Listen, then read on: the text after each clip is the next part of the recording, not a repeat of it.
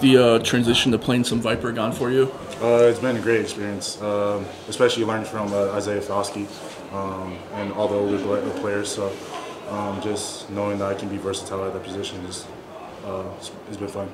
I guess what's just kind of the biggest challenge going from linebacker to, to Vyper? Um, definitely the understanding, um, you know, pass rush moves and everything, especially little key steps towards run games and everything, and understanding that um, you got to be a little lower, uh, stronger. So, yeah.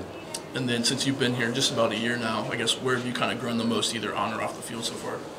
Um, I would say um, my ability to be uh, to be versatile. I mean, just understanding the whole playbook, the whole uh, scenario of being being wherever they need me out the, on the field. So.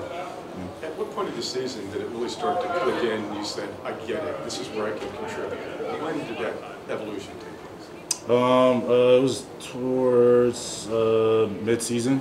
Um, just um, whenever they needed me at that vyper position um, or the linebacker position at Navy or whatever scenario, I was I was able to uh, come ready. Uh, Al Golden and James Laurinaitis was able to get me ready for whatever scenario.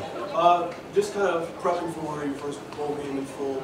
How's the prep different? Obviously, you get a little more time to look at this opponent, but just how's the prep been different from a typical week to week prep during the season? Um, I mean, Coach Coach, uh, Coach Freeman uh, definitely got us in the schedule where we can um, be able to recover and um, you know get time to understand what uh, what we're going up against. So um, it's definitely not as a quicker pace to go into a game, but it's definitely giving us enough time to be ready for a game. So. What do your teammates said the focus was has been on attacking throughout these practices? Would you agree with that? Oh yeah. Oh yeah, definitely. 24/7, um, uh, especially off the field, regardless of what we're doing, it's a mentality that Coach Freeman uh, put in put into us to whatever you do, just attack it. So, yeah.